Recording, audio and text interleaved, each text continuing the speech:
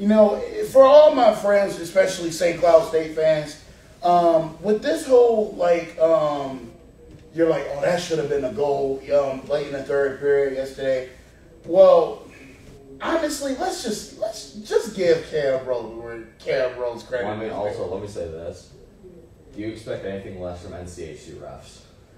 But that wasn't even a horrible call, though, because Yeah. if we be honest, Dude, if dude. I'm not mistaken, one year ago today, Jason Polin received a five-minute major It was. penalty It was. for a body check on national TV, like yesterday, CBS Sports Network, in front of the Lawson Lunatics, number five Western Michigan versus number three Denver.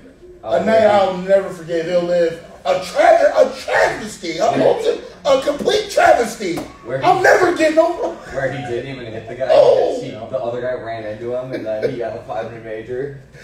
Oh my god. To, to the I'm sorry, man. I'm freaking out. I'm so, so To that angry. ref who made that five minute major call, open your eyes because Polin didn't even hit the guy. Polin was trying to get out of the way, and you still called five. This is why I'm so mad.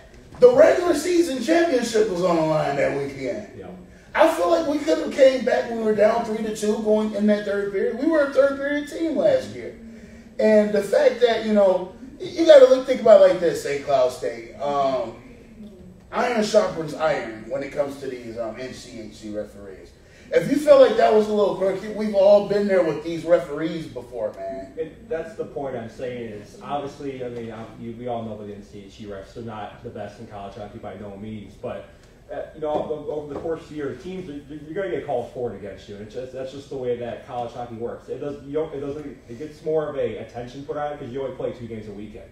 Um, NHL happens as well. And back to the call, um, that's that's that's just something where if if that if the official calls it as a goal, it's not going to get overturned. But again, that's the rules, and that's the way you don't call it based on where the gloves you call where the puck's at, and based on that they made the right call. Obviously, if it goes the other way around, we'd be really upset. But for what it's worth, we'll 100 percent take it, and it's still regardless unbelievable. I think it was out. crazy save. Unreal. Why these hockey players want to be baseball players yesterday? What was that one save that everything our buddy James O'Connor from Everything College Hockey posted yesterday? Y'all seen that? It was a save they posted like some game. It looked like a high school like rink, but it was college hockey. Yeah, yeah. You know what I'm talking about? Like he literally some Ryan Fancy uh, flash. Like this was literally like he Oh. put the mid. I would right like I would like to do a shout out.